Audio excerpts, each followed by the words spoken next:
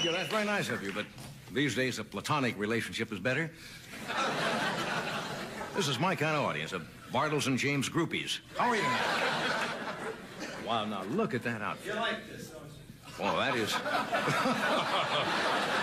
that is. that is, is dynamite. Really? I'm not going to make any fun of that. Anyway, I welcome you. We got a great show. We got the great one tonight, Mr. Jackie Yes, Gleason. Indeed.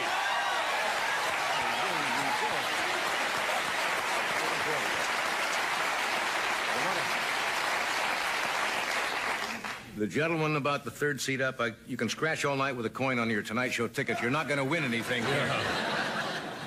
How many of you been playing the lottery? All of the money, as you know, goes for education.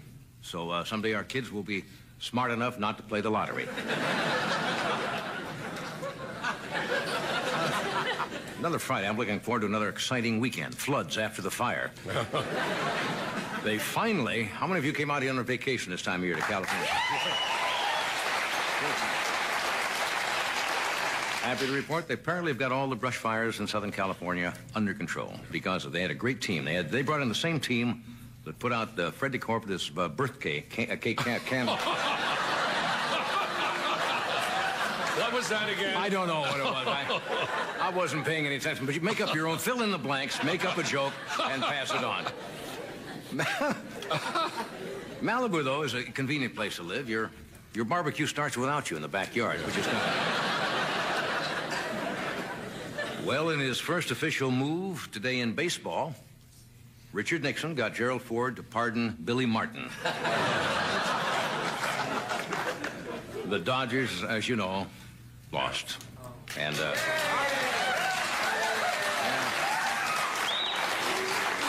Tommy Lasorda is still despondent over the loss. Today he tried to jump off one of his hero sandwiches. There's not a great deal in the news uh, today. Um, one kind of important item. This weekend marks the anniversary of the invention of the incandescent lamp by Thomas Edison in Menlo Park, New Jersey. Now, this, this may not mean much to you, but before that time, moths never had a place to gather socially. and one of the one of the big drawbacks one of the big drawbacks to Edison's invention of the light bulb was that for the first time, people could see what Menlo Park looked like at night. what else is happening? Do you know our Attorney General, Ed Meese, the winner of the Ed McMahon look-alike contest, incidentally, is in hot water again? Yeah. Because he reportedly said, it, the Attorney General said, he disagrees with the constitutional guarantee that you're innocent until proven guilty. Hmm. That's what he said. Of course, under heavy questioning, Meese admitted he didn't really read the Constitution. He read the classic comic book version. you know, I worry about Attorney General who bones up on the law by watching Perry Mason reruns on cable. how many of you, speaking of Jackie Gleason, how many of you have been watching the Lost Honeymooner episodes? To their play? I recently found some lost footage from the only film I ever made, and you know what it is. Yes. Looking for love. Looking love. for Love with Connie Did you find it? Well, found it, and I uh, I found that lost film, and I got a I got a grant from the Motion Picture Academy to lose it again. It was a bad picture. Anyway, Jackie Gleason is the only man in the world who makes Ed McMahon look like a Boy Scout. I kid you about yours. Remember the Kramden's apartment? How many of you know the street it was on? Trivia. Chauncey Street, tiny cold water flat on Chauncey Street. The building went condo. That apartment recently sold for $250,000. Bringing it up to date. Along with Mr. Gleason tonight, we have Mr. Jim Stafford. Yeah. And.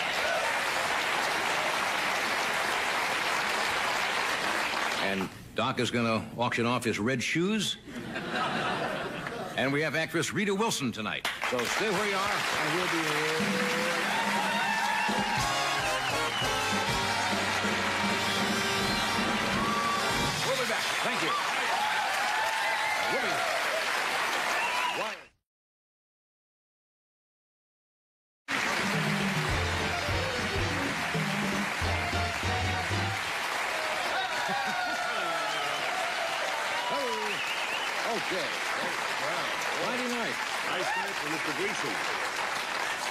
Audience. We handed out a few cards here to see what kind of a mood you're in. They're Strange, strange questions you get. You don't have to call out where you're sitting in case you're with somebody you're not supposed to be with, but Tony, is it Tony Stewart? Tony? He's with someone he's not supposed to Is that is that a man or a woman? Oh, oh, I see. Yes, it is. Would you entertain, consider? Would you consider? Oh, come on, having an affair with a 20-year-old, 24-year-old woman? Are you 24, Tony? Oh, now come on, t- 24 years old. Yeah. I'm old enough to be the guy who'll drive you out to Malibu.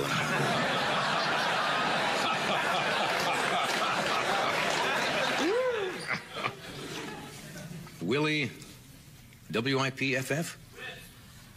That's Willie Whiff. I like that. Really whiff. I like that. You ought to be in show business and starring Willie Whiff. Is it W-I-P-F-F, Willie? Where are you from, Willie? Yeah, Willie Whiff. Nice. Excuse me?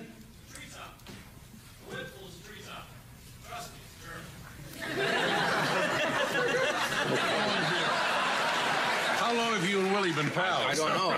Well, look at the question. Can I borrow $5,000 so I can go to school next year?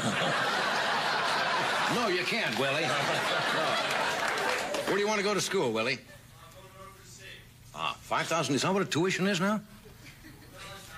Housing. Uh, Larry Buell? Yo! You know what this sounds like? Roll call in the service. Buell, yo! Who was your biggest influence when you were growing up? Uh, uh, Albert Einstein? Zorro? Nancy Polenza? Can I photograph you in the nude? No, no, Nancy, you'll have to wear a robe. I can't. What's going on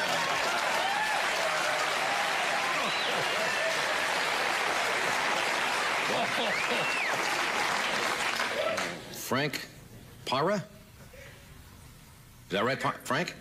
All right. How were you ever lucky enough to find someone from the state of Oregon? Did I pronounce it right, Oregon? No. I did. Oregon. Oregon. To be your band leader. That Doc is from Oregon. That's what he's talking about, right? Well, I guess we were. Our first choice, uh, Freddie the Salmon, remember, died. You know. Whereabouts in Oregon? Well, originally Arlington, Oregon, population 601. Now it's only 600. Jim Mona? Yeah, How are you, Jim? good. Is that right? M O N A? That's right. Where are you from, Jim? Little Falls, Minnesota. Uh huh. What is, what is your idea of a perfect woman? Um, sensitive, intelligent, tolerant, Tolerant. Oh, that's important. caring. Forgiving. Yes, with jambalayas out to Glendale. caring, yes. Are these all written by the same person? Would you like to? I can't read that. You got your glasses on? Yeah. I'm going to start getting reading glasses. It's very small. Well, you're getting some nice offers tonight. Would you like to go out to dinner with three lovely ladies from Allentown, Pennsylvania, please? Wait a minute. Is this? Would you like to go out to dinner with three young? Oh, this is all the same people. Well, this is lady number one, Jean Triani, is it? Would you like to be escorted to dinner by three lovely ladies from Allentown, Pennsylvania? It's got all three of them. Yeah. What is this? What are your ladies' names? Karen, Rita, Ritter, and Yvonne, And Jean. and Jean from Allentown. Well, that's very nice. We go Dutch? sure. Beg your pardon? Jeffrey Getz or Gertz? Jeffrey's a very large group. Is it safe to eat across the street at Los, Los Arcos Mexican restaurant?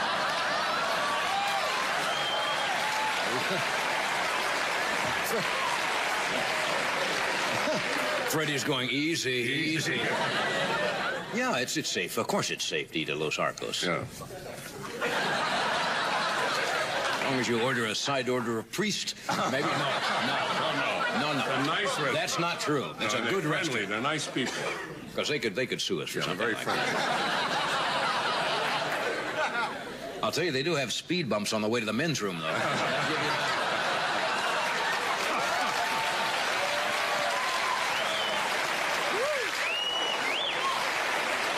No, it's a nice place. I can't read the name. Bu- Would you would you like to work with me at the post office? What's what's the name here? Is it Blanche? That's it, Blanche. Yeah. This is dated 1963. Just joking. Tom Johnson. Where are you, Tom? I saw your house while on a tour today. When is the last time you saw it?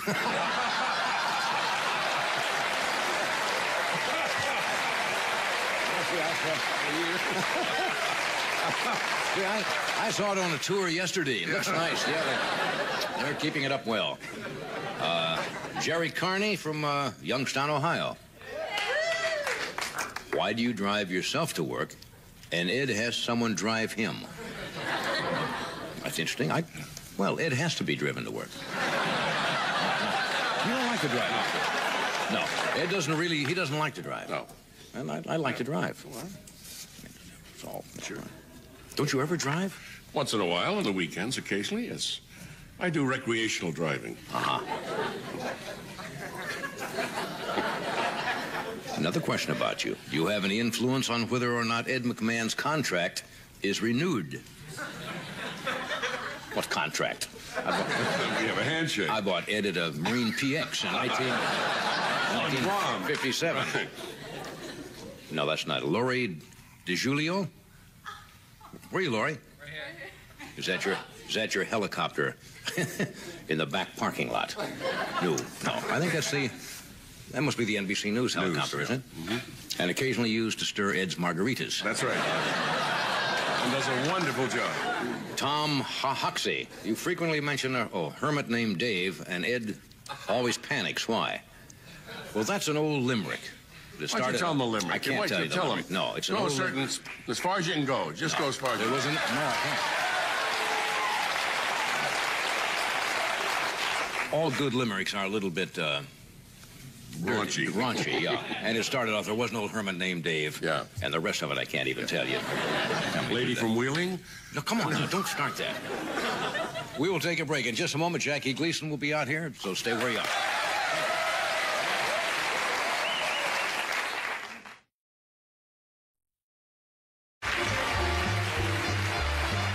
Thank you, Doc. We are back. Okay. What can you say? My first guest tonight does not need a very effusive introduction, but I'd like to give him one anyway because I am an unabashed fan of Jackie Gleason ever since I saw him in the early days of television back in the early 50s when he was doing the Cavalcade of Stars out of New York. He's the subject of a book written by columnist and a pal of his for 36 years, Jim Bacon, called How Sweet It Is. Uh, he has worked in practically every branch uh, of our business, including uh, nightclubs and motion pictures and television. And he is one of the true comic geniuses uh, of our times. Would you welcome Mr. Jackie Gleason?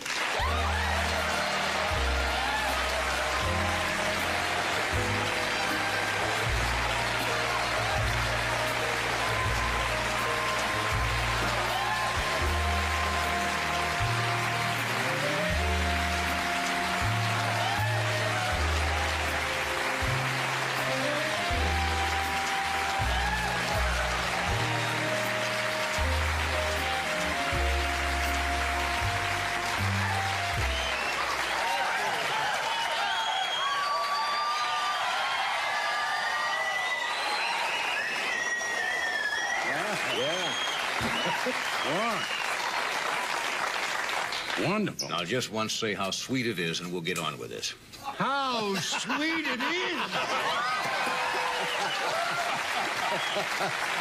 You know, You know, must be a kick. You did the Honeymooners in uh, what year exactly? The, the first original Uh, 39 episodes. I think around uh, 1951 51. we started them. Only did 39 episodes. 39. Of the half hours. And now you have a whole new generation of fans. The youngsters, of course, who were just born then, are now seeing them all over. It must give you a great kick It is. to see a whole uh, new generation of Very gratifying to think that something you did 30 years ago shows up and is a hit. Yeah, and a big hit. Yeah. And a big, big hit. You know, this is the this is the first time I've been doing this show for 23 years. Never had you on the show. I don't understand it, John. Yeah. The only, thing I can figure it out, I was waiting to find out if this show was a hit. You're out here doing a picture with uh, with young Tom Hanks, right? Yes, and he is a fine actor. Yeah. Great actor. Now, tell me about your friend Bacon here. You've known each other for a number of years, and you both. Uh, the book is filled with a lot of your, uh, uh, for the lack of a better word, pranks or uh, Escapades. escapades, evenings out. Um, matter of fact, you, you kind of wrote this uh, book over uh, sharing a little, little scotch at one time. Well, another, we, right? we had a few aperitifs. and uh, and uh, Jim is a good man with the Yes, he is. So he's very nice company. Matter of fact, matter of fact, when you were doing the toy, didn't they tell him to? Uh, Oh, they considered him a bad companion for me. they thought if he showed up, I'd get stewed. and they were right. You know, I, I was reading the book last night, and uh, I came into your dressing room a while just before the show tonight, and I said, "You remember a show? Oh, John. We can get that one out of the way right off. Yeah. You've had many successes, but you did a television show in 1961. The show itself went on one time. It was called You're in the Picture. Oh, Now, the reason I'm bringing this up yes. was because I was also a part of the show. You were the host, if I remember, and you sat over to the right of the stage, and you sat at a little table, and you had your little coffee cup. And they, I think I was on the show. I think Arthur Treacher, Arthur Treacher, the late Milt Kamen. Jan Sterling. Now, the idea of the show was they had the television audience could see at home, and the studio audience could see a picture. The celebrities would come, and we put our heads through a hole in the picture from the back. We didn't know what the picture was. Good God. Yeah. I was one of those people. And uh, you would ask questions, and we would ask questions of you, what we were doing. Are we an animal, and so forth. and it really did not go too well. and I remember one of the questions I asked you about halfway through, I said, would you tell me why I've got my head through this hole in this picture? the critics took the show apart, and next week you came on the stage and did one of the funniest half hours on television because you didn't do that show. You just sat, sat down and apologized. I came out and apologized to the audience for committing such a terrible crime. This was the biggest bomb ever put on television. and when I went to the executives of CBS and I said, uh, I got to go on next week and apologize for this. They said, we don't allow anybody to go on and apologize for anything we put on. And I said, Well, this week you're gonna. And um, I had a lot of fun that, that oh, night. It was it was wonderful. You came out and sat there. It was one of the funniest half hours I've ever seen. You only did. We talked. Let's talk about the honeymooners a little bit. You did 39, and they came to you and wanted you to do an, another season. Yeah. And you said no at the time. Uh, they People, didn't have- believe people me. have always They- wondered why you didn't because it's so successful. Well, we were running out of ideas, and uh, I liked the honeymooners. I liked doing them. And I didn't want to denigrate them by, you know, forcing scenes that didn't mean anything. Right. So I wanted to quit. And they didn't bel believe me. They thought I had another job someplace. Right. But I didn't, and I'm glad I did stop then. Because what we had done was good, and if we had gone any further, we might have spoiled it. Yeah. All these characters, I saw the piece that Morley Safer did with you on 60 Minutes. All the characters you do, from Ralph Kramden to Joe the bartender to the poor soul, really came out of your background in the early years in Brooklyn, didn't they? Well, yes, uh, the honeymooners especially, because there were a thousand Nortons and a thousand Kramdens. And uh, Reggie, of course, uh, I did in burlesque, and I did the poor soul in on Broadway. Right. So they they fit in pretty good with television. Which of those characters, of all of them, uh, is the closest to Jackie Gleason. Well, You, can you most identify with? I guess I'd have to say Reggie. I wish we had the train set up where the train came out with a little jigger of booze. We're going to take a short break. We're coming right back.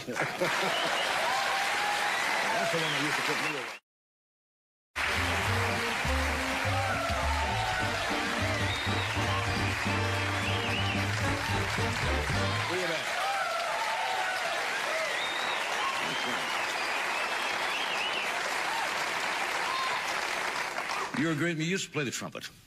In your no, act, but? I, I played at it. Played at it. Yeah. In your early act, Yes. you played a lot of. What was I the had places? the worst act, John, in show business. It was horrible. And uh, it was six minutes of absolute boredom. And on our show one night, the curtain got stuck. Right. So I said, I am going to do my old act. And it was a riot. It killed him. Kill the people. Can't understand it. When I needed it, it didn't work. Didn't you work? at it? Was it Jack White's? Uh, Jack club? White's 18 The Club. 18 Club. Greatest nightclub in the world. Was that one of your early jobs? Yeah, uh, you weren't allowed to do an act. You, it was all ad lib. And every night there were big stars, Robert Taylor, Jimmy Cagney, and they'd come in and we'd make fun of them. And uh, it was a hot spot. All the columnists came in every night. It was a joy working there. Didn't you used to hustle pool after you got out of high school? Yes. Well, no, when I was in grammar school, I, Oh, grammar school. I started out as a rack boy when I was about nine years old. And they looked, uh, let me play in the back table. And I got pretty good at it. And when somebody come in and wanted to play somebody, they picked me. Right. I was the house boy. And then on graduation day in grammar school, you know, they gave you those little gold pens. And I used to play the kids for their gold pens. and I'd get a nice box of them and go down to the hot shop and turn them in. so, so this came up when you did the Hustler, in which you were nominated for an Academy. Where that came in handy, shooting pool. Oh, at sure Minnesota did. Fats. Sure did. And Paul began to learn to play pool very well. Yeah. You got Willie Mosconi. Somebody said to kind of give him some lessons. he's the greatest. Did you do in grammar school Little Red Riding Hood in a Yiddish accent? Is that true? You certainly have done your research. Yeah. yeah. Yes, I did. And uh, that's when I knew, well, I knew I wanted to be in show business before then. Uh, my father took me to a vaudeville show. And at intermission, they put the house lights on. And I was sitting in the first row. And I stood up and I turned around and I faced the audience. And I knew that that's the way I should look for the rest of my life. And uh, then the next thing was the school play. Right. And I got a couple of laughs, and that did it. That always does, doesn't it, for, for Oh, comedians? There is nothing like a big yammo coming in. a big yuck. A lot of the book is devoted to uh, your old friend, uh, whom I know, of course, not as well as you, Toots Shor, and his uh, his saloon. Toots would never call it a restaurant; it was a saloon. He was a saloon keeper, right? he sure was. and you, when, when Toots died, I, I read that you sent a, a wreath that said, uh, "Save me a table." Yeah. Is that right? Were the were the bouts, uh, the drinking bouts, as, as large? Did you ever miss a performance because of it? No, never did. Never missed a show. And uh, I'm not advocating that everybody should drink. It just worked for me.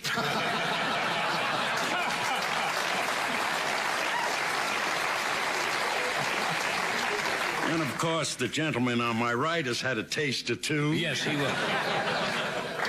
I was reading in the book when you, when you when you do the shows, you were one of those people who've got an instinctive ability to look at a piece of material, a script, and then go out and, and do it. You didn't particularly like rehearsing. No, I hated to rehearse. And I had a stand in who was funnier than I was. He would do the sketches with the performers. I'd go through it with him once, and then he would do it. Uh, I just didn't like to rehearse. I thought it took something away from the performance. But there were some wonderful moments on the show where things would happen. In fact, they Oh. played some of those recently with the with the old uh, the lost episodes. Connie, one time, was trying to get out the door, and it was stuck. So we went out the window. Yeah, Reasonable. yeah. Went down the fire escape and came back up. He's good. Connie is one of the greatest comedians of and dramatic actors of all times. Yeah, he is. Uh?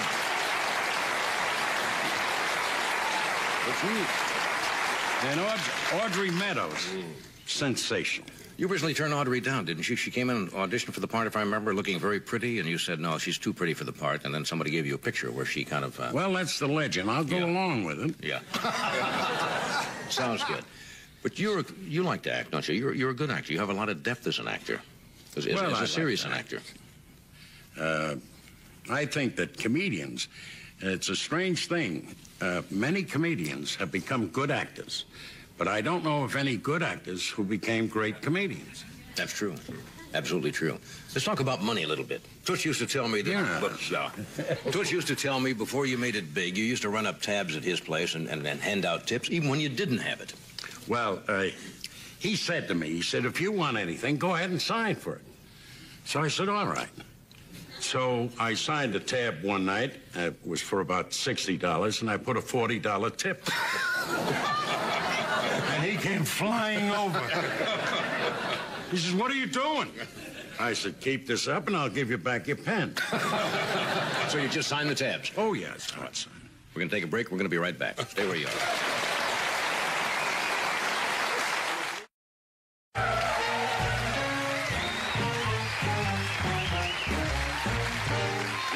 We're talking to Jackie Gleason. Was it in the '60s, Jack? You made the uh, the albums, "Music for Lovers Only," and some of those other great mood albums. Yes. that's an uh, interesting no, story. it started around, I think, 54. That's an interesting story. This is something you wanted to do, and everybody wouldn't back you on it and said you got to be kidding because I- you, you have you don't read music. That's uh, right. And you don't write it, and yet you came out with these albums and conducted, and they were a smash hit. Well, it all happened because of Clark Gable. I saw Gable in a picture, and he was all made up, and he was dressed in tails, looked great. And he was doing the dialogue. Then he sat down on the couch with the girl, and the music snuck in.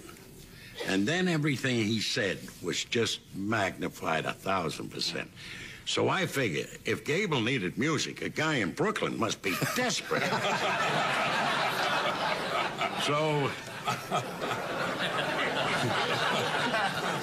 we put together the music, and as it turned out, it was quite successful. Yeah, you had strings. You got uh, uh, Bobby Hackett. Oh yeah. One of the great trumpet players. Only the only trumpet Funny player. thing, when, when I first heard uh, Bobby, he was playing guitar in Glenn Miller's orchestra.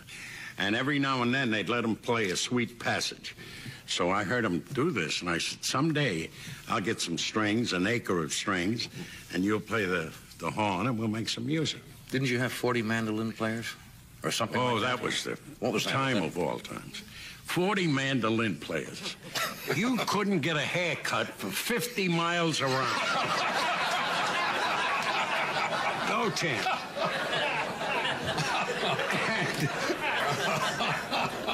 they came in and sat down and they started to play and they had hard picks. And it sounded like somebody threw a bed spring out the window. So I said, Dad, this will never do. I said, and I sent out for soft picks. And they played it, and it still was a little raunchy. So I went around with a glass of water, and I said, dip your picks in the water, soften them up. Now they started to play, and the water's hitting them in the chin. and they're ready to go. You know, they think I'm a nut. So we finally made a recording, and I played it back to them, and they were all very satisfied. But that was a tough session.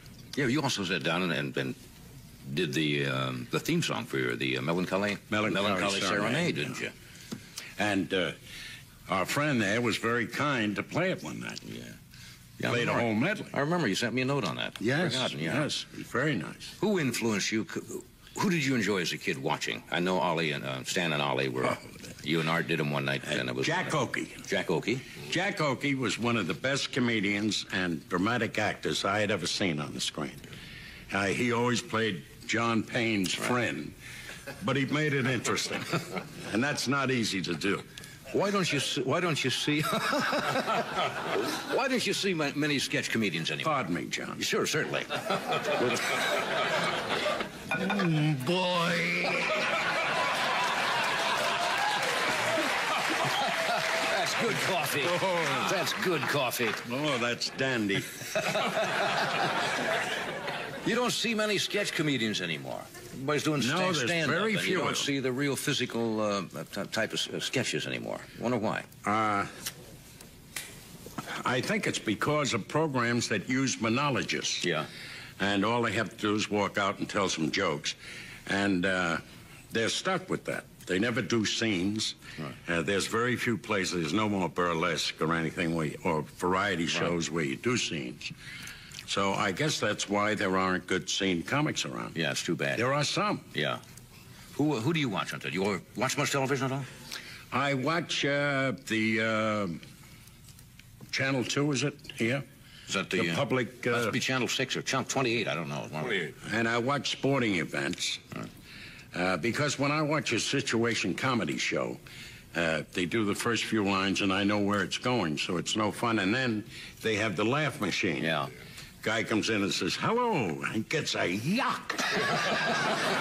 Hi, Dad. How's the job? You- I Guy sits there playing the organ. I remember when you did the uh, it was the Ducon, Duconicam system they call it Dumont Uh, with the yes. three camera setup. It was first time done, and all in front of a live audience. That's right. In New We never did a show any other way but in front of an audience. No cue cards, no teleprompters. And uh, that's the only way to do a show. Yeah. How are you going to know if you're timing something if you haven't anyone to say it to? Yeah, get that feedback. Yeah. Anything in your life that you want to do you haven't done yet? No, I've been pretty lucky. I got a chance to do most everything I wanted to do. Uh, some of it laid a bomb, some of it was pretty good. Uh, I've been very, very lucky. And anybody that thinks it's just their talent, uh, they're crazy. You got to have luck. And, you know, talent, talent is a very annoying thing because you can't take any credit for it. It's a gift from God, you know, and you're stuck with that. Somebody says you're good, you say, well, God did it. Well, in your case.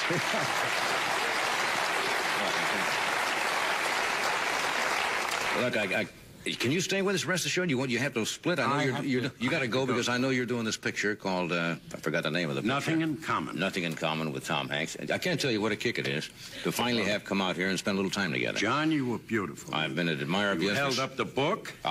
yeah, Jim's Jim's book house. Uh, what's the name? What's it called? Oh, sweet. it is. Thank you, Jack. He's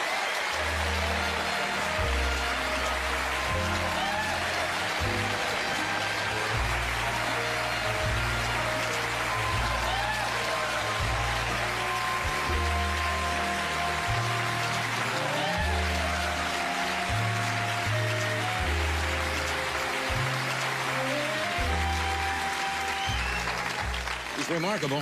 He's remarkable.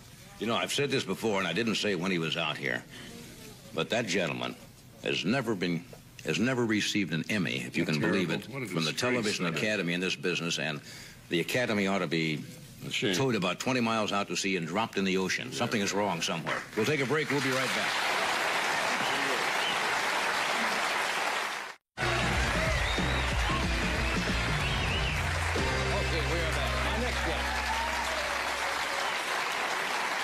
Okay.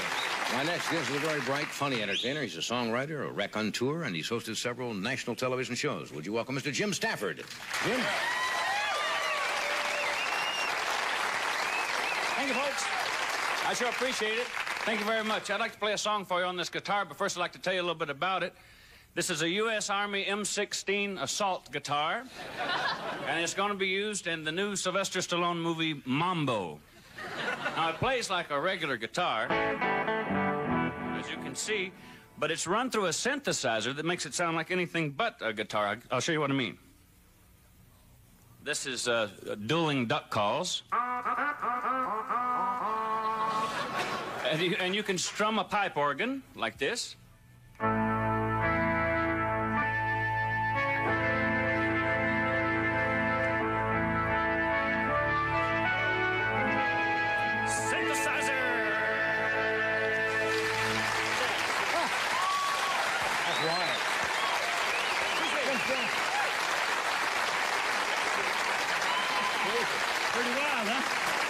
See.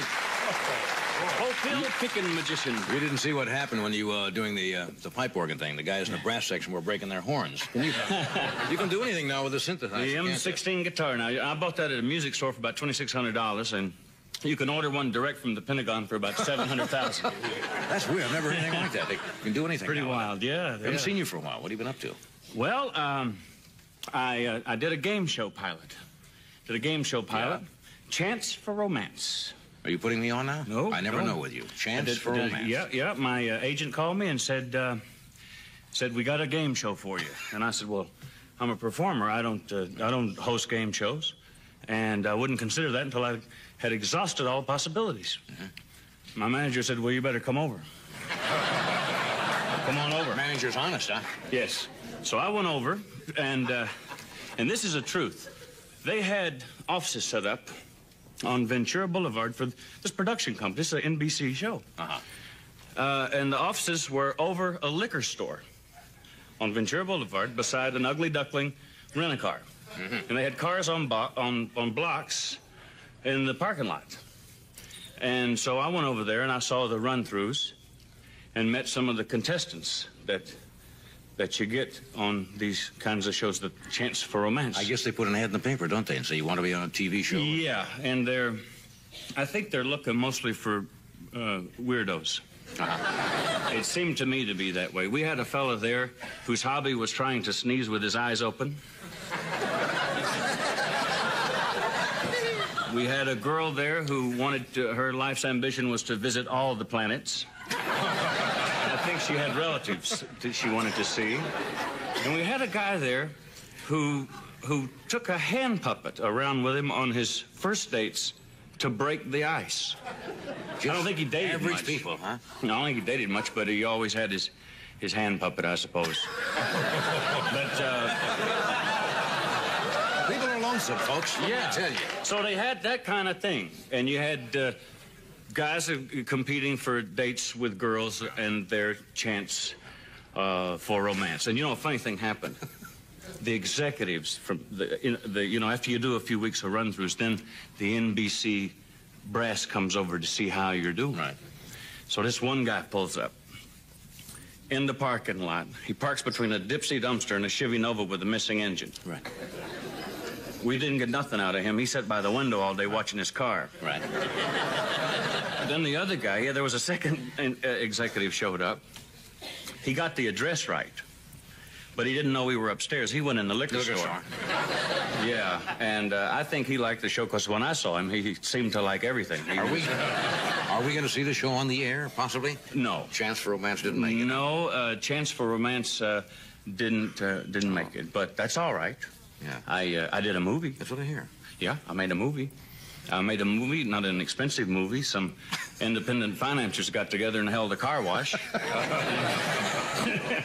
we made uh, a movie called Kid Colter.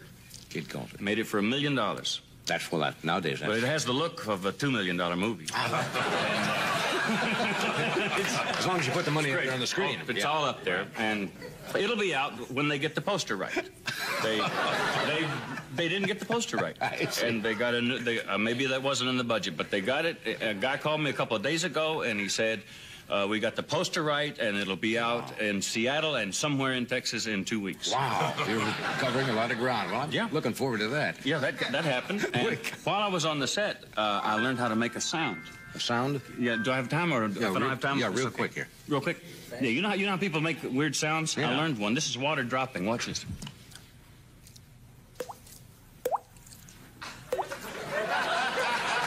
What do you think? Pretty hot, huh? That's dynamite. I can't think of a better way to wind up the evening. Thank you, John. We'll, uh, we'll, we'll do this and we're going to come right back.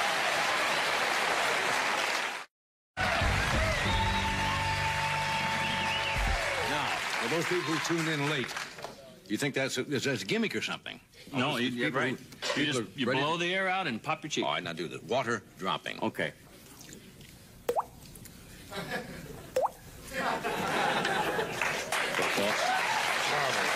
Thank you.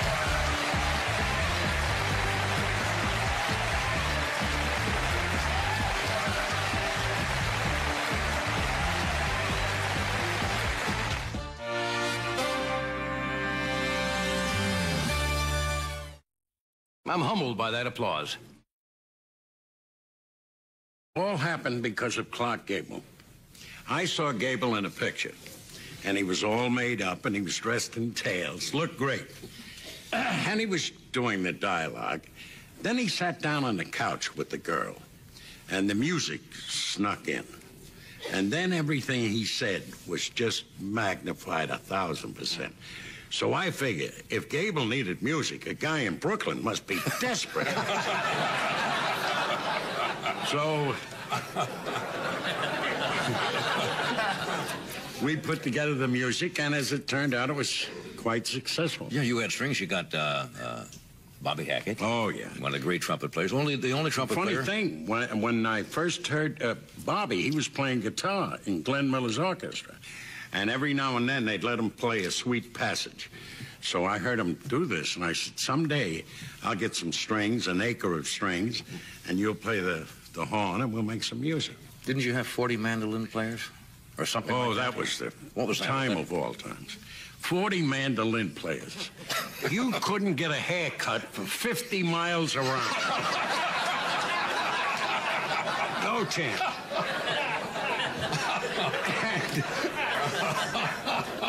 They came in and sat down and they started to play and they had hard picks. And it sounded like somebody threw a bed spring out the window. So I said, Dad, this will never do. I said, and I sent out for soft picks. And they played it, and it still was a little raunchy. So I went around with a glass of water, and I said, dip your picks in the water, soften them up. Now they started to play, and the water's hitting them in the chin. And they're ready to go. You know, they think I'm a nut. So we finally made a recording, and I played it back to them, and they were all very satisfied. But that was a tough session. Yeah, you also sat down and, and, and did the um, the theme song for your, the uh, Melancholy, Melancholy Serenade, Serenade, didn't you? And uh, our friend there was very kind to play it one night. Yeah. yeah Played a remember. whole medley. I remember you sent me a note on that. Forgotten, yeah. yes, it was very nice. Who influenced you? Who did you enjoy as a kid watching? I know Ollie and uh, Stan and Ollie were. Oh. you and Art did them one night, and it was Jack Oakie. Jack Oakie. Jack Oakie was one of the best comedians and dramatic actors I had ever seen on the screen. Uh, he always played John Payne's friend, but he made it interesting, and that's not easy to do.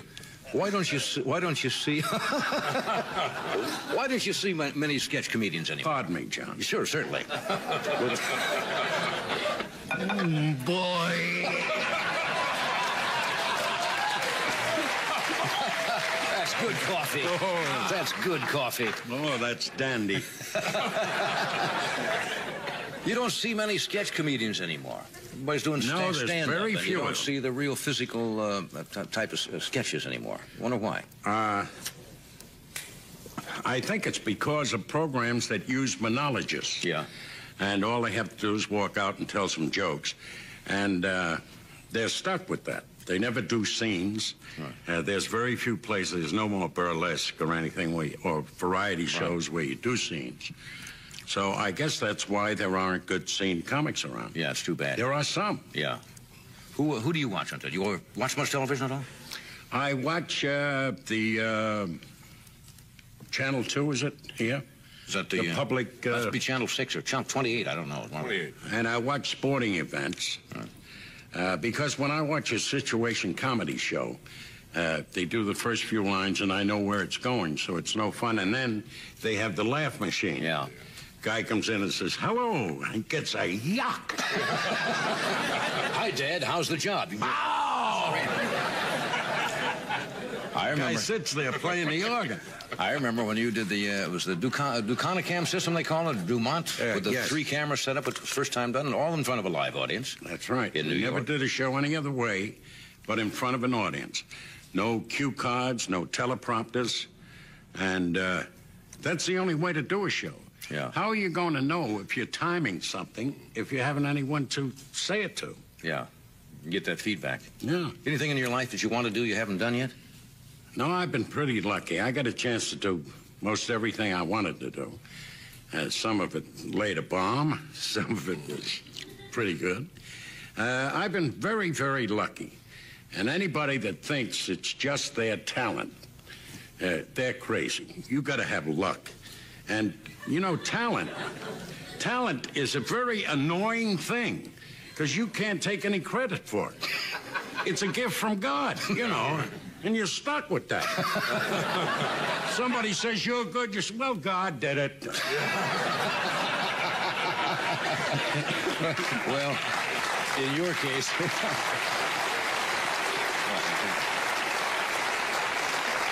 Look, I, I, can you stay with us the rest of the show? You want you have to split? I know I you're, you're, you got to go have to go. because I know you're doing this picture called uh, I forgot the name of the picture. Nothing in common. Nothing in common with Tom Hanks. I can't tell you what a kick it is to finally have come out here and spend a little time together. John, you were beautiful. I've been an admirer of you yours. held up the book.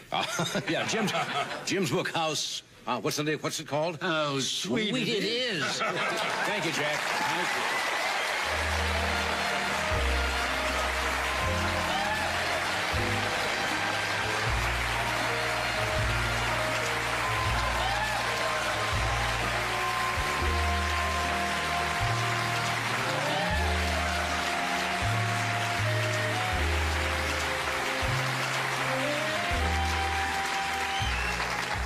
remarkable. He's remarkable.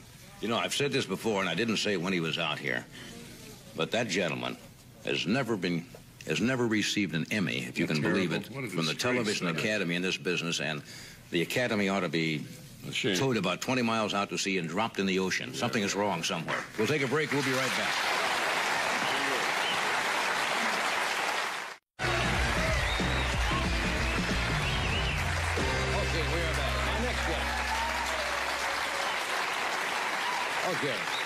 My next guest is a very bright, funny entertainer. He's a songwriter, a raconteur, and he's hosted several national television shows. Would you welcome Mr. Jim Stafford? Jim? Thank you, folks. I sure appreciate it. Thank you very much. I'd like to play a song for. So they, they fit in pretty good with television. Which of those characters, of all of them, uh, is the closest to Jackie Gleason? Well, You, can uh, you most identify with? I guess I'd have to say Reggie. I wish we had the train set up where the train came out with a little jigger of booze. We're going to take a short break. We're coming right back. That's the one that used to put me away.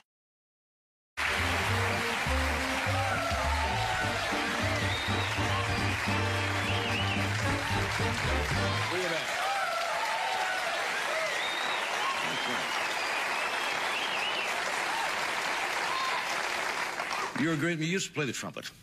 In your no, act, but? I, I played at it. Played at it. Yeah.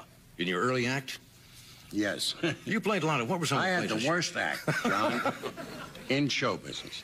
It was horrible. And uh, it was six minutes of absolute boredom. And on our show one night, the curtain got stuck. Right. So I said, I am going to do my old act. And it was a riot. It killed him. Kill the people. Can't understand it. When I needed it, it didn't work.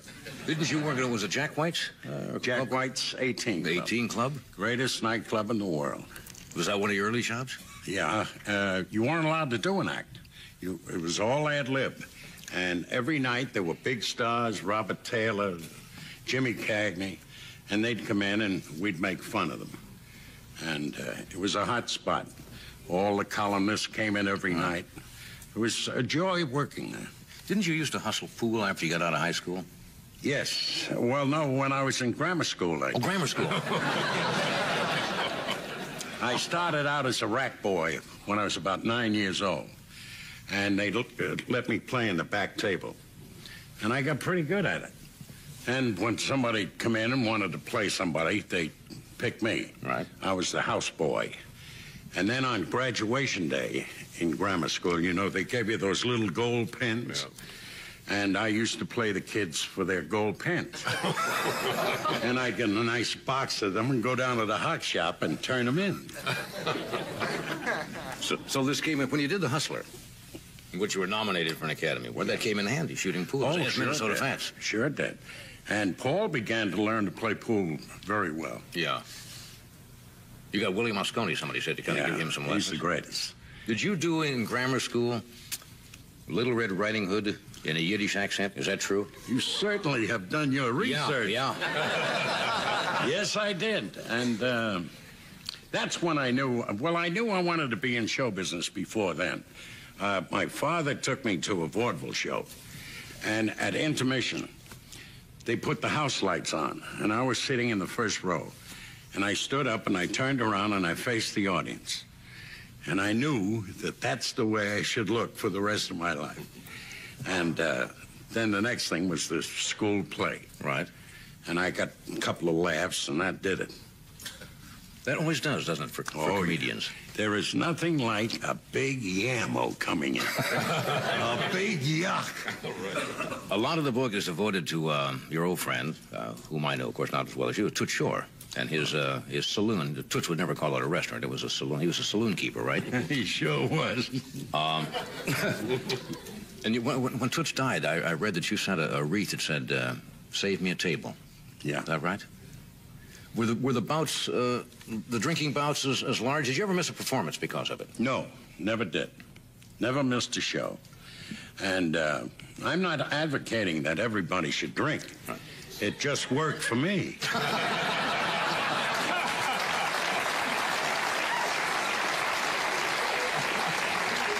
and of course, the gentleman on my right has had a taste or two. Yes, he was. Uh, I was reading in the book when you, when you when you do the shows, you were one of those people who've got an instinctive ability to look at a piece of material, a script, and then go out and, and do it. You didn't particularly like rehearsing. No, I hated to rehearse.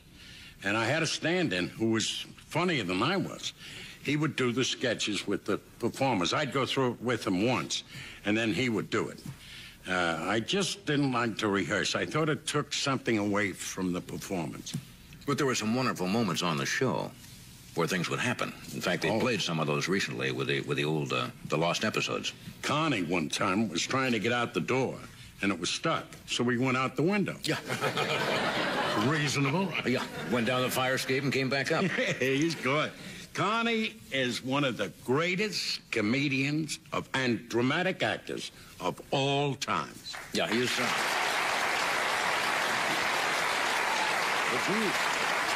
And Aud- Audrey Meadows, sensational.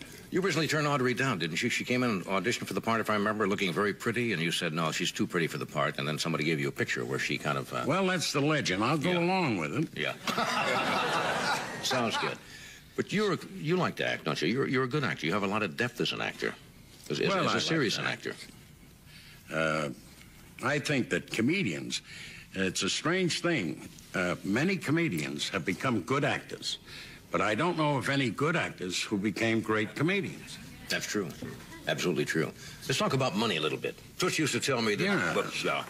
Toots used to tell me before you made it big, you used to run up tabs at his place and, and, and hand out tips, even when you didn't have it. Well, uh, he said to me, he said, if you want anything, go ahead and sign for it. So I said, all right. So I signed a tab one night. uh, It was for about $60, and I put a $40 tip. and he came flying over. He says, what are you doing? I said, keep this up, and I'll give you back your pen. So you just signed the tabs. oh, yes, I'd sign. We're going to take a break. We're going to be right back. Stay where you are.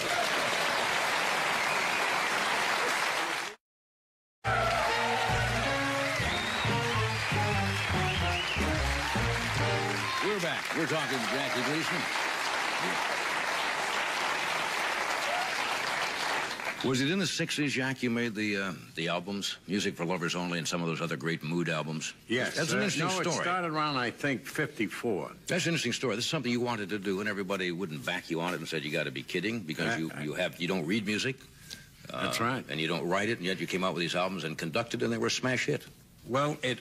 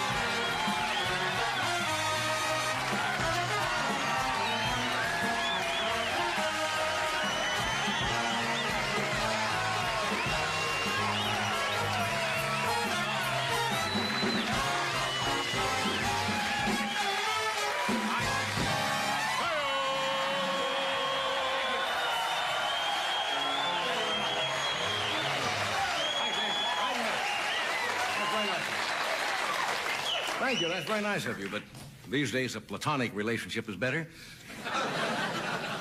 This is my kind of audience, of Bartles and James groupies. How are you?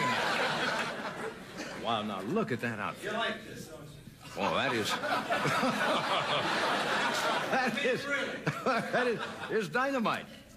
Really? I'm not going to make any fun of that. Anyway, I welcome you. We got a great show. We got the great one tonight, Mr. Jackie Gleason. Indeed.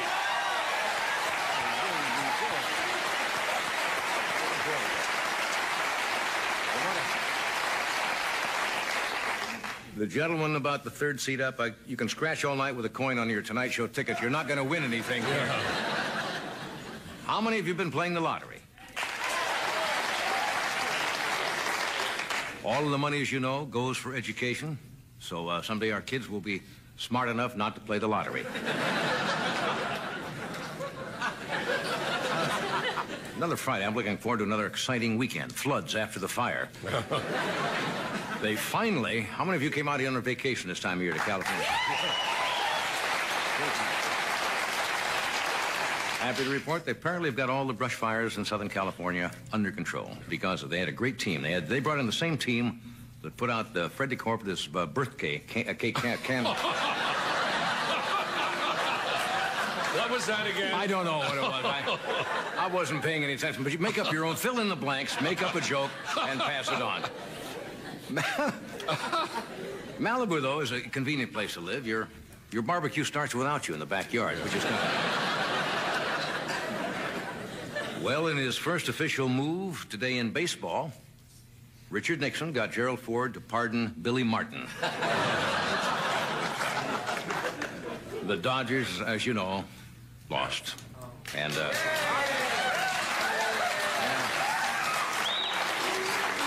Tommy Lasorda is still despondent over the loss. Today he tried to jump off one of his hero sandwiches. There's not a great deal in the news uh, today. Um, one kind of important item. This weekend marks the anniversary of the invention of the incandescent lamp by Thomas Edison in Menlo Park, New Jersey. Now, this, this may not mean much to you, but before that time, moths never had a place to gather socially.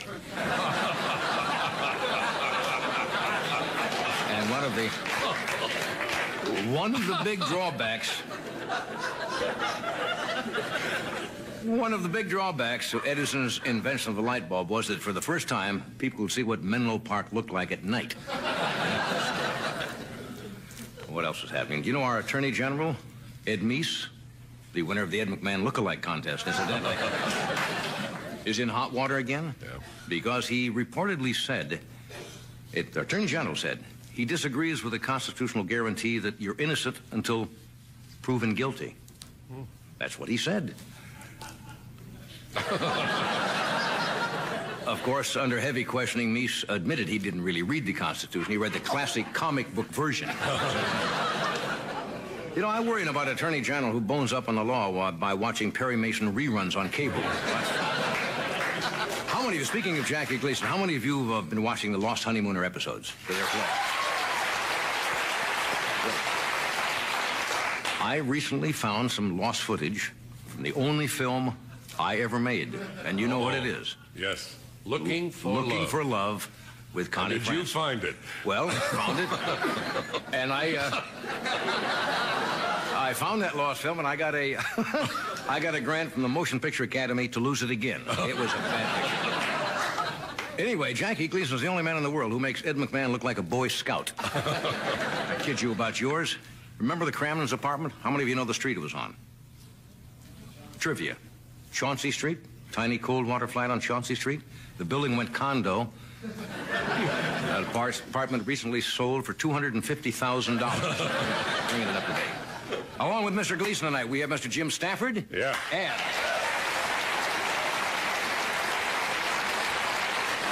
And Doc is going to auction off his red shoes. And we have actress Rita Wilson tonight. So stay where you are, and we'll be. We'll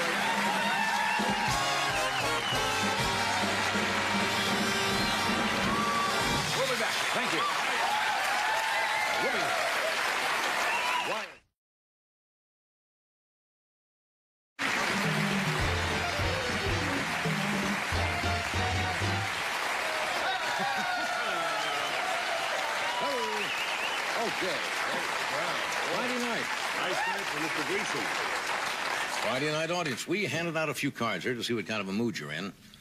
They're in a Strange, crazy mood. strange questions you get. You don't have to call out where you're sitting in case you're with somebody you're not supposed to be with, but Tony, is it Tony Stewart? Tony? He's with someone he's not supposed to be. Is that a man or a woman? Oh, oh, I see. Yes, it is. Would you entertain, consider? Would you consider? Oh, come on, having an affair with a 20-year-old, 24-year-old woman? Are you 24, Tony? Oh, now come on, 24 years old. Yeah. I'm old enough to be the guy who'll drive you out to Malibu.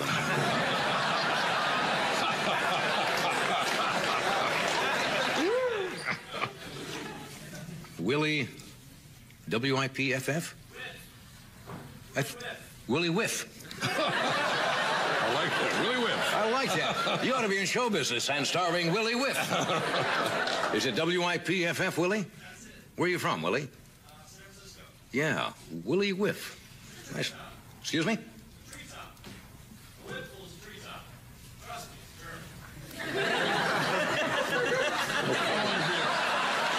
How long have you and Willie been pals? I don't know. Well, well, look at the question. Can I borrow $5,000 so I can go to school next year? No, you can't, Willie. Where do you want to go to school, Willie? Ah, 5000 Is that what a tuition is now? Housing. Uh, Larry Buell? You know what this sounds like? Roll call in the service. Buell, Who was your biggest influence when you were growing up? Uh, Albert Einstein? Zorro?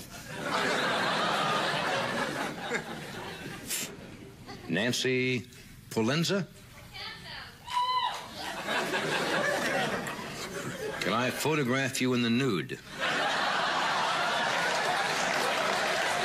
No, no, Nancy, you'll have to wear a robe. I can't. uh, What's going on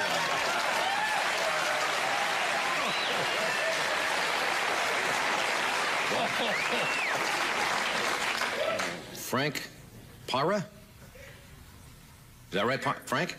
All right. How were you ever lucky enough to find someone from the state of Oregon? Did I pronounce it right? Oregon? No. I did. Oregon. Oregon. To be your band leader.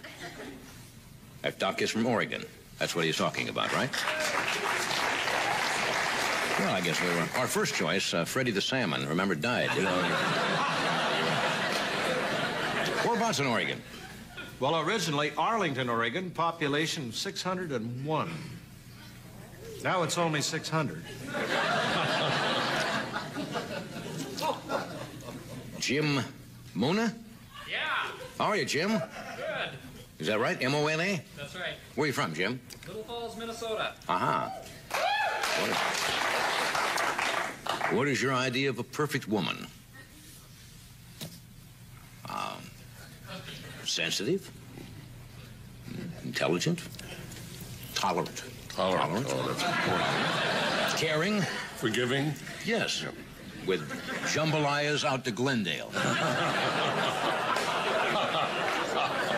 caring, yes. Are these all written by the same person? Would you like to? I can't read that. You got your glasses on? Yeah. I'm going to start getting reading glasses. It's very small. Well, you're getting some nice offers tonight. Would you like to go out to dinner with three lovely ladies from Allentown, Pennsylvania, please? Wait a minute. Is this, would you like to go out to dinner with three young? Oh, this is all the same people. Well, this is lady number one, Jean Triani, is it? Would you like to be escorted to dinner by three lovely ladies from Allentown, Pennsylvania? It's got all three of them. Yeah. What is this? What are your ladies' names? Karen, Rita, Ritter, and Yvonne, And Jean. and Jean from Well, that's very nice. We go Dutch? sure. Beg your pardon? Jeffrey Getz or Gertz? Jeffrey's a very large group. Is it safe to eat across the street at Los, Los Arcos Mexican restaurant?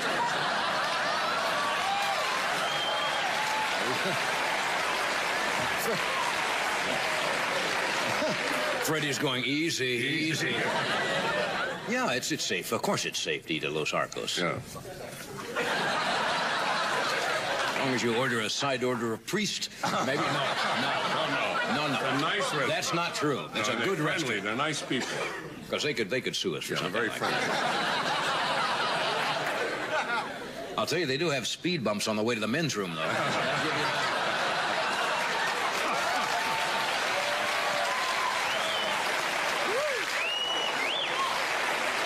No, it's a nice place. It's a nice place.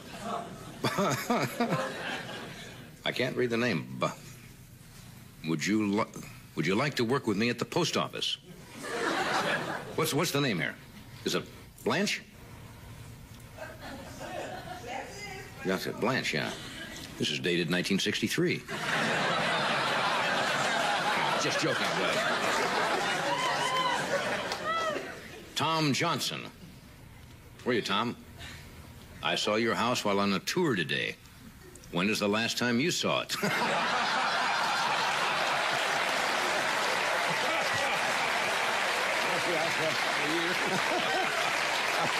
Yeah, I, I saw it on a tour yesterday. It looks nice. Yeah, they're, they're keeping it up well. Uh, Jerry Carney from uh, Youngstown, Ohio. Why do you drive yourself to work and Ed has someone drive him? That's interesting. I, well, Ed has to be driven to work. You don't like to drive. No, Ed doesn't really. He doesn't like to drive. No. And I, I like to drive. That's all. Sure. Don't you ever drive? Once in a while, on the weekends, occasionally, yes. I do recreational driving. Uh-huh. Another question about you. Do you have any influence on whether or not Ed McMahon's contract is renewed? What contract? I bought, We have a handshake. I bought Ed at a Marine PX in 19, 1957. No, that's not. Lori DeJulio? Where are you, Lori? Is that your is that your helicopter in the back parking lot? No, no. I think that's the that must be the NBC News helicopter, yeah. isn't it? Mm-hmm. And occasionally used to stir Ed's margaritas. That's right. And does a wonderful job. Tom Hoxie. You frequently mention a oh, hermit named Dave, and Ed always panics. Why? Well, that's an old limerick. It Why don't you tell him the limerick? I can't Why tell you you tell limerick. him. No, it's an a old certain, as far as you can go. Just go as far as you There can. wasn't. No, I can't. All good limericks are a little bit uh, Raunchy. raunchy, yeah. And it started off. There was an old hermit named Dave. Yeah. And the rest of it, I can't even tell you. Lady from Wheeling? No, come on, now, don't start that. We will take a break in just a moment. Jackie Gleason will be out here, so stay where you are.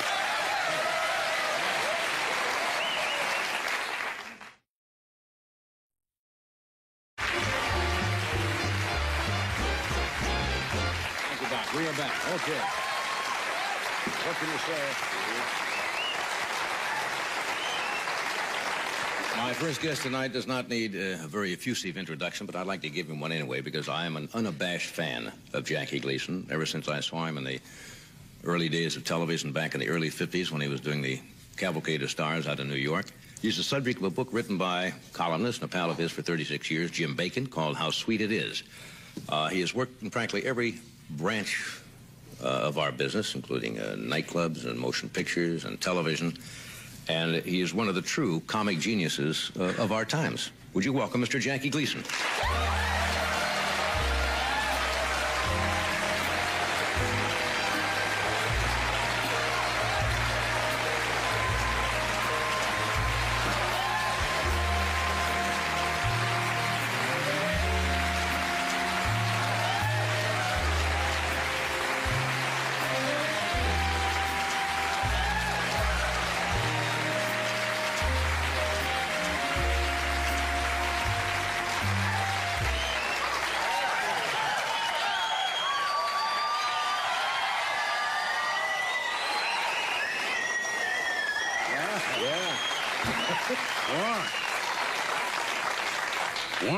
Just once say how sweet it is, and we'll get on with this.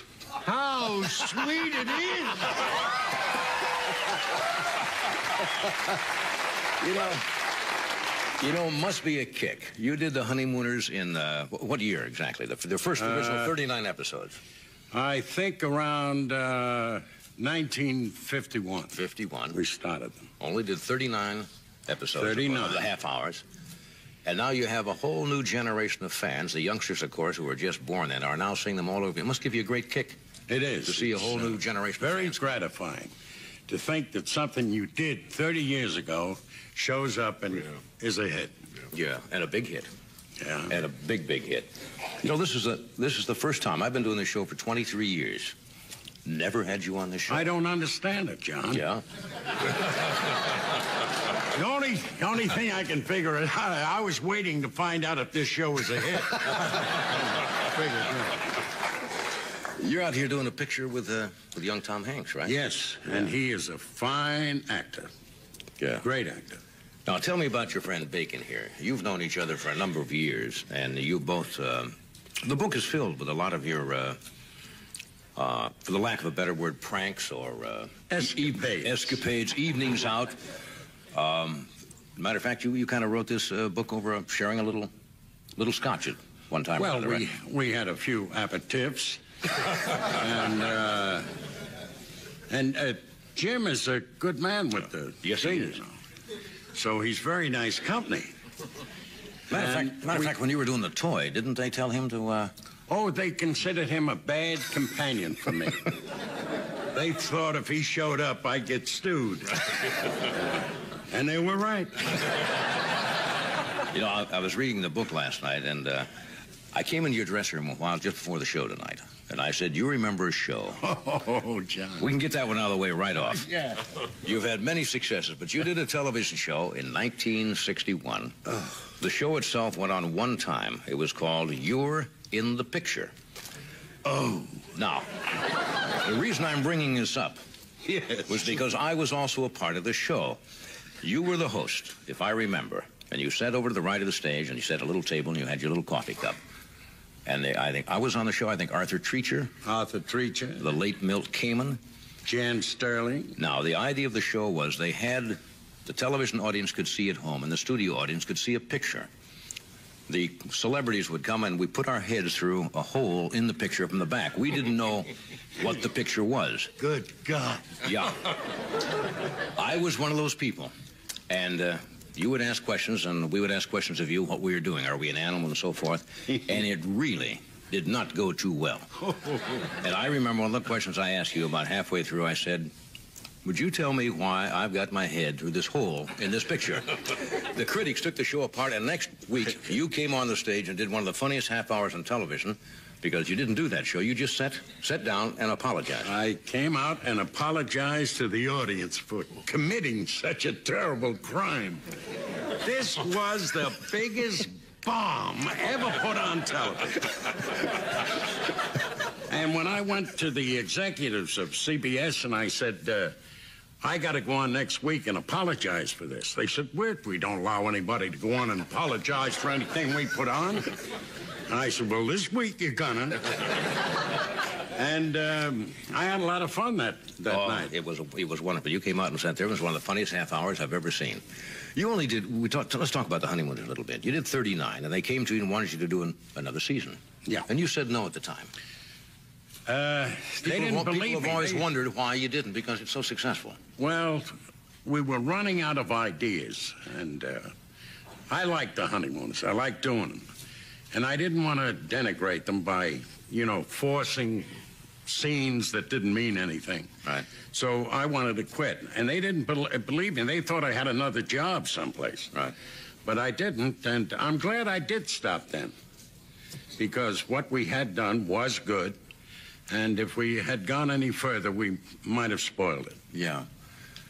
All these characters, I saw the piece that Morley Safer did with you on 60 Minutes. All the characters you do, from Ralph Kramden to Joe the bartender to the poor soul, really came out of your background in the early years in Brooklyn, didn't they?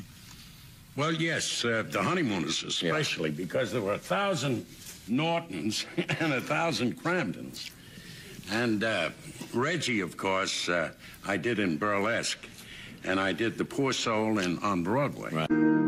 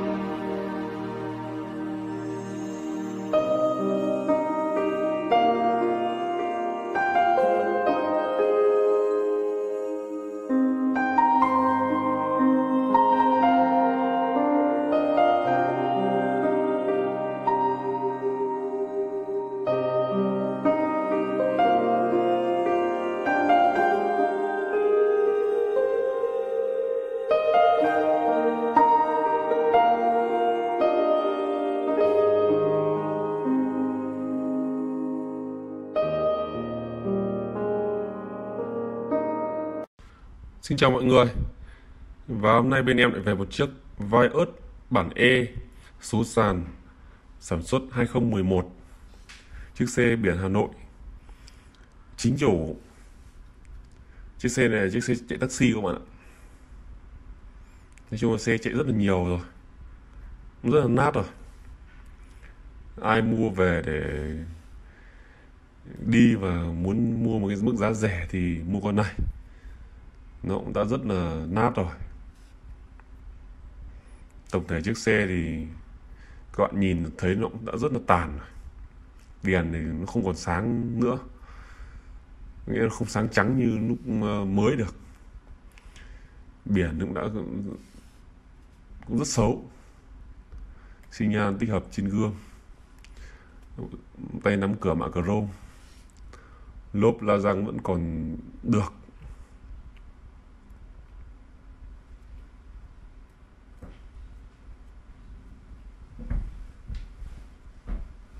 Đây, nội thất bên trong.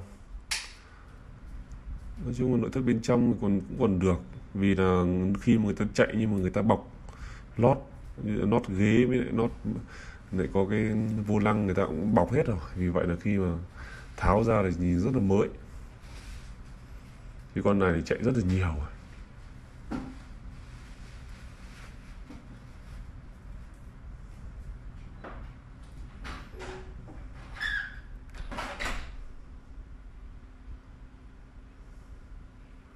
với tổng thể chiếc xe thì nếu mà các bạn không quá khó tính thì mua em này về cũng được. Keo chỉ thì cũng không hẳn là nguyên zin toàn bộ. Phần mông phần ờ, đầu thì cũng đã bị uh, va quyệt và bị keo chỉ nó cũng đã bị mất rồi. Có nghĩa là nó không còn zin nữa. Tuy nhiên mấy con ốc và sườn này thì vẫn còn nguyên các bạn gương kính chỉnh điện hàng ghế sau cũng còn rất là đẹp. Đã được bọc lại các bạn ạ. Vì con này đi rất nhiều, vì vậy là trần thì còn cũng còn mới, vì là không có ai sờ vào trần bao giờ đâu. Keo chỉ bút cánh thì vẫn còn nguyên, tại vì là con này không bị va quẹt gì ở phần cánh cả. Đèn thì, nó chỉ đèn hậu này còn vẫn còn đẹp. Mỗi đèn trước thì hơi ố đi thôi.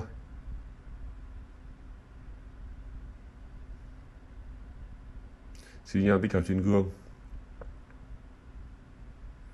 Đây, đèn rất là ố các bạn ạ. Nó không còn sáng nữa.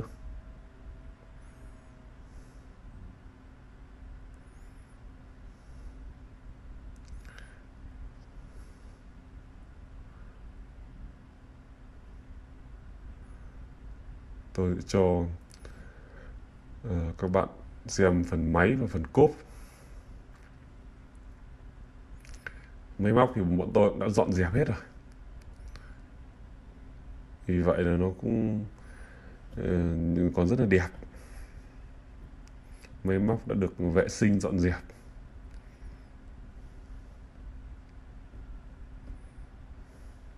Tuy nhiên là con này thì cũng không hẳn là zin 100% các bạn nhé keo chỉ nắp cabo này đã còn không còn nguyên nữa rồi. Tuy nhiên là mấy con ốc này thì cũng còn, ốc máy thì vẫn còn nguyên.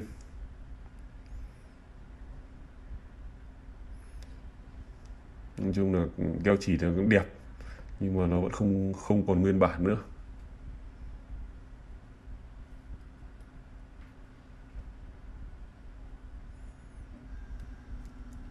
Tổng thể chiếc xe, nói chung là còn đời 2011 thì cũng 9 10 năm rồi. Nói chung là cũng không thể đòi hỏi quá cao được.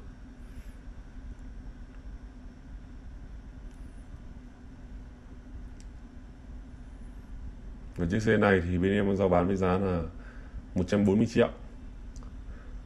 Có lọc lá cho các bạn chắc tầm 1 triệu chứ còn 139 triệu là hợp lý rồi.